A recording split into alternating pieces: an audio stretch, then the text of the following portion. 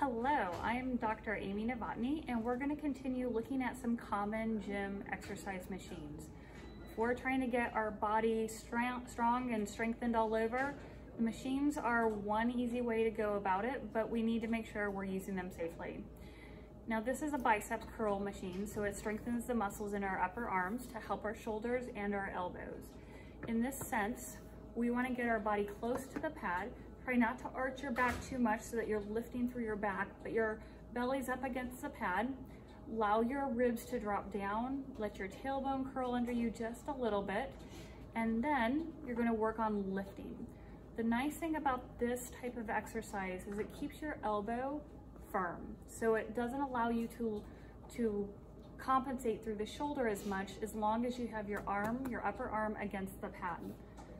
The one, the one unfortunate part of it is it doesn't allow for easy rotation of the forearm, which would also help get the biceps because your biceps muscle helps with rotation of your forearm called supination.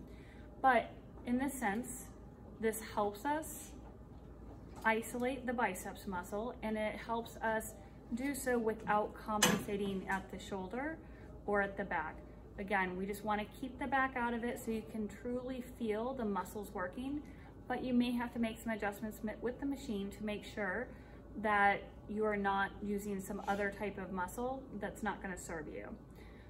Also with this, just as with every exercise, you want our feet flat on the ground.